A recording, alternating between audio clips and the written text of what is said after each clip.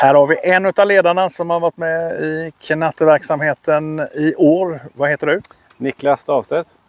Och vad säger du om årets säsong? Det är ju lite andra säsonger för dig. Du var ju med i bollleken förra året och nu är det knattarna. Sådär. Hur, har, hur har det varit tycker du? Ja, men jag säger som Håkan att det är lite organiserat kaos. eh, Är det, men jag måste säga det händer ganska mycket på ett år.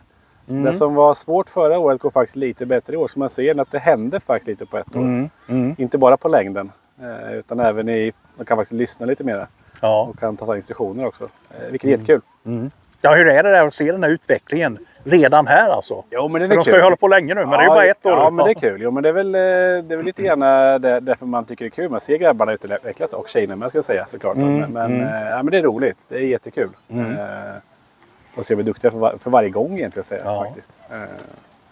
Låter härligt. Och nu kommer ni ju bilda ett lag här. Nu blir det ju då jajamän. P18 och F18 då. Ja. Födda 18 här. Hur taggad är du inför den Jo men det delen? är absolut. Jag fick nyss att vi möte nästa vecka men då är jag tyvärr inte på plats. Men eh, jo, men jag är taggad att köra igång. Jag tror vi flera fällor med kommer att köra. Så det kommer Ja. nog, eh, hoppas jag, vara uppslutning där också. Som det Ja. har varit. Eh, ja, Kan bli ett härligt gäng. Ja, det tror jag. Det är redan ett bra gäng. Ja men det är det. Ja, det, är det. det, är det. Lycka till nu! Tack snälla.